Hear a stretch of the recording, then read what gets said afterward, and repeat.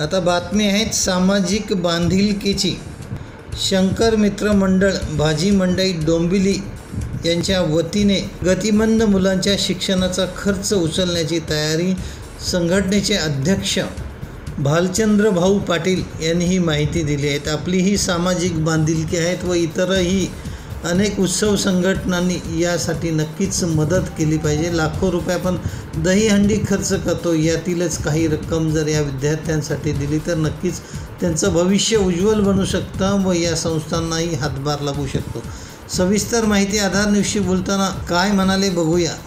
शिवगर्जना भाजीपिळ विक्रेता संघटनेचा अध्यक्ष शंकर मित्र मंडळाचा अध्यक्ष हा डोंबिलीचा सर्वात जुना भाजी मार्केट. आणि या भाजी मार्केटमध्ये जवळपास गोकुळाष्टमीचा सण गेल्या बेचाळीस वर्षापासून साजरा होत असतो. आणि या शंकर मित्र मंडळाच्या मा माध्यमातून आम्ही अनेक सामाजिक उपक्रम राबवत असतो. गेल्या दोन वर्षामध्ये कोविडमुळे आपल्याला कुठे कोणताही सण साजरा करता नाही आला. त्यात प्रत्येकाची आर्थिक परिस्थिती खालावली. आणि अशामध्ये मला कुठून तरी माहिती मिळाली की क्षितिज जी मतिमंद गतिमंद मुलांची शाळा आहे. त्यांना आर्थिक भरपूर हालाकीच्या परिस्थितीतून जावं लागत आहे आणि त्या मुलांचा शिक्षणाचा खर्च करणं शक्य होत नाही.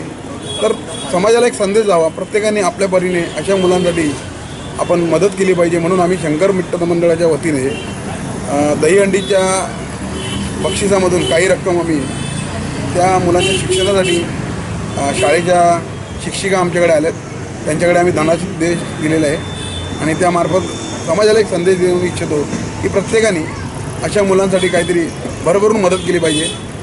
सामाजिक जीवनामध्ये जेव्हा आपण काम करत असतो तेव्हा राजकीय क्षेत्रामधील काही लोक आहेत मोठमोठ्या खर्च आपण दहीहंडी किंवा आपले इतर कार्यक्रम करतो. पण त्याच्यातून जर अशा काही शाळा आहेत असे काही विद्यार्थी आहेत गोरगरीब विद्यार्थी आहेत मतिमंद विद्यार्थी आहेत अपंग विद्यार्थी आहेत किंवा समजा वृद्धाश्रम आहेत यांना आपण त्यातून रक्कम जर दिली तर नक्कीच त्यांना याचा सुद्धा फायदा होईल.